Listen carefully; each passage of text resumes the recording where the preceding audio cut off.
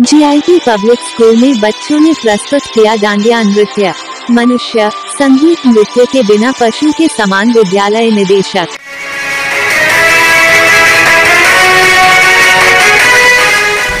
Pakri Brava प्रखंड के घनश्याम नगर स्थित जीआईपी पब्लिक स्कूल में बच्चों ने डांडिया नृत्य प्रस्तुत कर दर्शकों का दिल जीत लिया।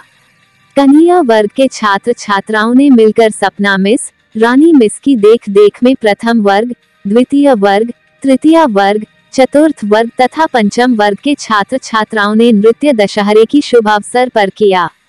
नृत्य की प्रस्तुति पर विद्यालय के निदेशक रंजीत रंजन ने कहा कि संगीत नृत्य बिना पशु अर्थात मनुष्य संगीत नृत्य के बिना पशु के समान है।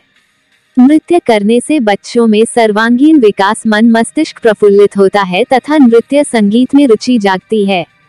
चतुर्थ वर्ग के बच्चियों ने तथा पंचम वर्ग एवं षष्ठ वर्ग के बच्चों बच्चियों ने सोनाली मिस की देखरेख में गुजरात की प्रसिद्ध डांडिया नृत्य को जीवंत बनाकर वहाँ मौजूद दर्शकों का दिल जीतकर रोमांचित किया। इस मौके पर विद्यालय प्राचार्य दीप राय, बिल्टू चटर्जी, रामबालक कुमार, नवदीप कुमार सिन्हा, शशिकांत मिश्रा, बबलू कुमार, राजेश सिंह, रंजीत कुमार, प्रदीप खान, सोनी, श्वेता नीलम सहित के अन्य मौजूद थे। शहर और गाँव की खास खबरों के लिए कृपया चैनल को लाइक एंड सब्सक्राइब करना ना भूलें।